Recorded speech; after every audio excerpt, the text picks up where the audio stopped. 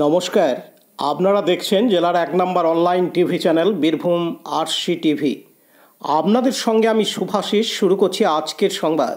বিস্তারিত সংবাদে যাবার আগে দেখে নেব সংবাদ শিরোনাম। খারাপ আবহাওয়ার জন্য পিছিয়ে গেল অনুব্রত মণ্ডলের সভা।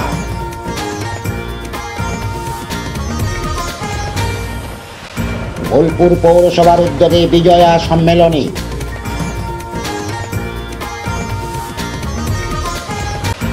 অবৈধ চলায় মদ উদ্ধার অভিযান মোড়ারোয়ে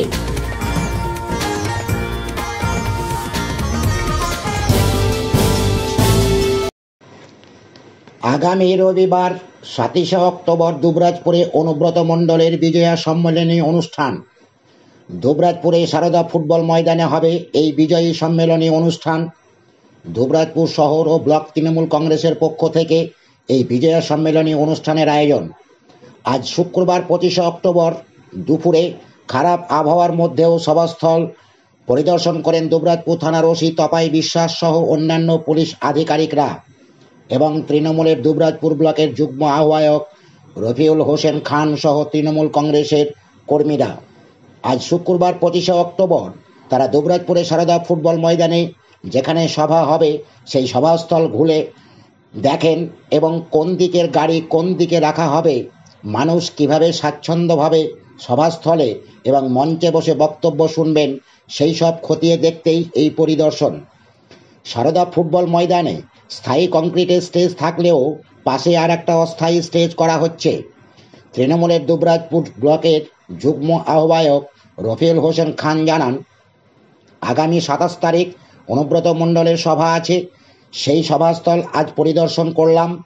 আবহাওয়ার জন্য একটু চিন্তায় আছি। জেলা সভাপতি অনুব্রত মণ্ডলের আসার অপেক্ষায় আছি। আবহাওয়া যাই হোক না কেন, এই মাঠ কানায় কানায় ভরিয়ে দেব। দাদা কি বার্তা দেবেন?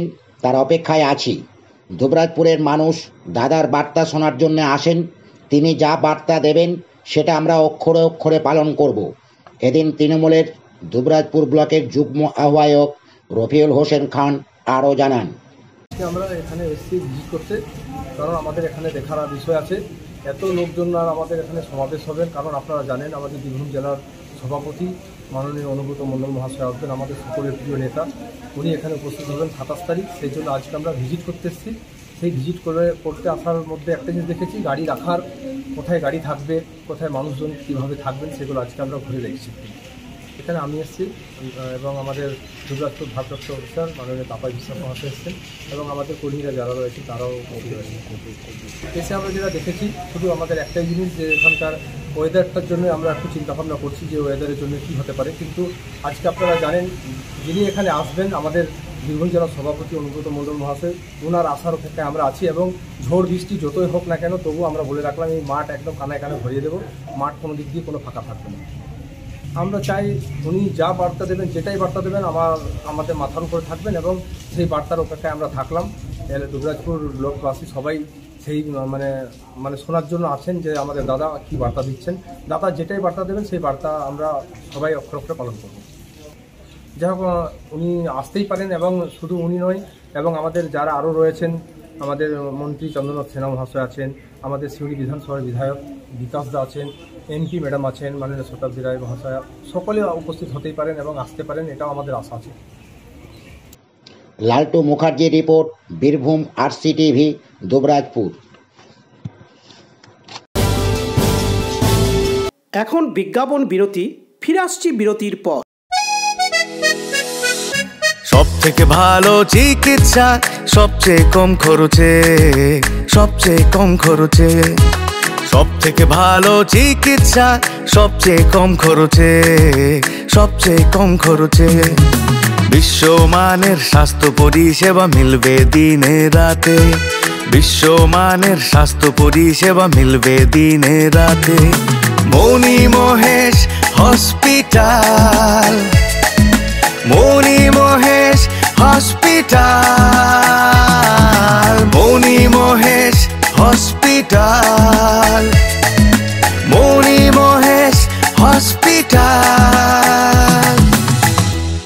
Mani Mahesh hospital Dubrajpur Birbhum.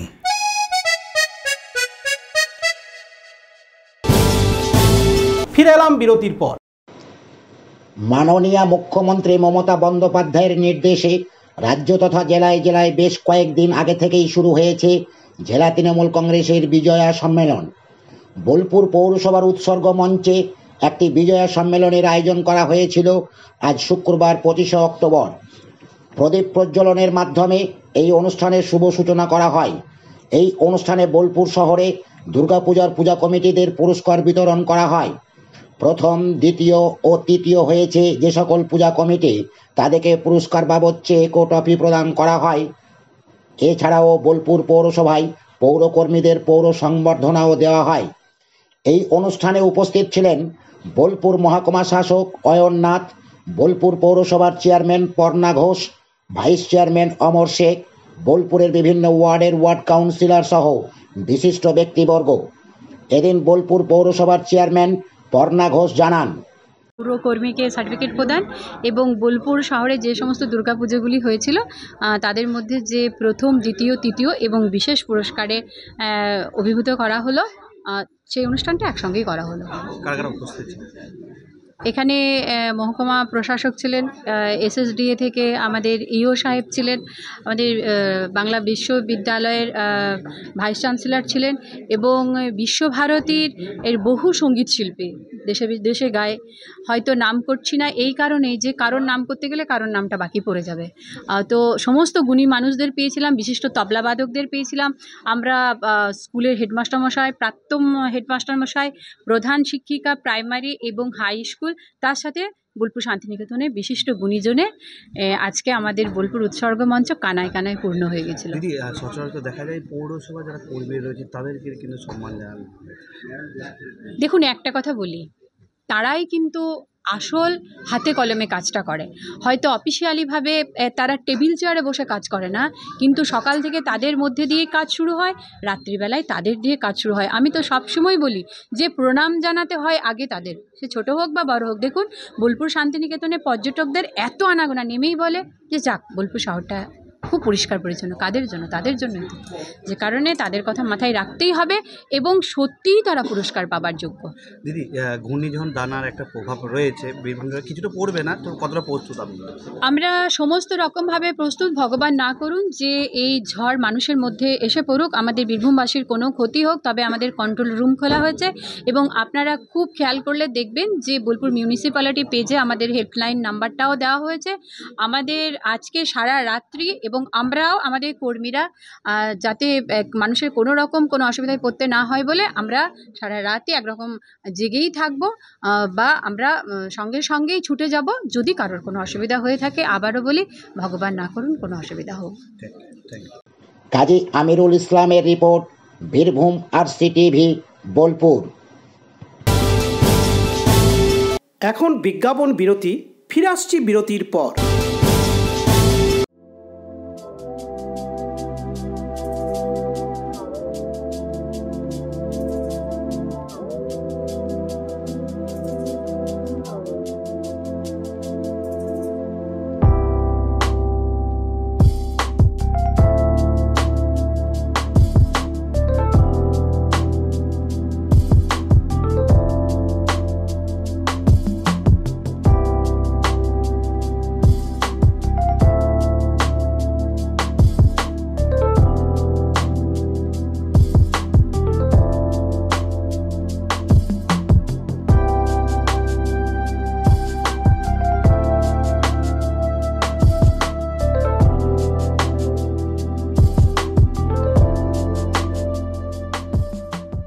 ফিরে এলাম বিরতির পর। বীরভূম জেলার অন্তর্গত মোরারই আবগারি দপ্তর ও ঝাড়খণ্ডের পাকুড় আবগারি দপ্তর এবং মোরারই থানার পুলিশ ও পাকুড় থানার যৌথ উদ্যোগে অবৈধ চোলাই মদ উদ্ধারের অভিযান করা হয় আজ শুক্রবার পঁচিশে অক্টোবর। শুধু তাই নয়, এই অভিযানের সঙ্গে ছিলেন ডিইসি রামপুরহাট, ডিইসি সদর, DEC Bolpur, Rampurhat circle, Nalhati circle Margram circle, Mayureswar circle, Bolpur circle, Labpur circle ও ঝাড়খণ্ডের পাকুড় সার্কেল। তত্ত্বাবধানে ছিলেন বীরভূম জেলা আবগারি দপ্তরের সুপারিনটেন্ডেন্ট ও ঝাড়খণ্ডের পাকুড় আবগারি দপ্তরের সুপারিনটেন্ডেন্ট। এদিন অভিযান চালানো হয় মরারই থানার অন্তর্গত ডুরিয়া নিঘুপাড়া, মোহনপুর গ্রামে এবং ঝাড়খণ্ডের পাকুড় থানার অন্তর্গত রাঙামাটি গ্রামে। এই সমস্ত গ্রাম থেকে প্রায় চারশো কুড়ি লিটার অবৈধ মদ, কাঁচা মদ তিন হাজার নশো ষাট লিটার, গুড় একশো কুড়ি কেজি, কুড়ি পিস বড় হান্ডি এবং তেরো পিস মদ তৈরি করার যন্ত্রসহ অন্যান্য সামগ্রী উদ্ধার করা হয়। তবে গ্রেপ্তারের কোনো খবর পাওয়া যায়নি। দীপু মিয়ার report, Birbhum RC TV Murarai. আজকের সংবাদ এই পর্যন্ত। পরবর্তী সংবাদের জন্য চোখ রাখুন বীরভূম আরসি টিভির পর্দায়। নমস্কার।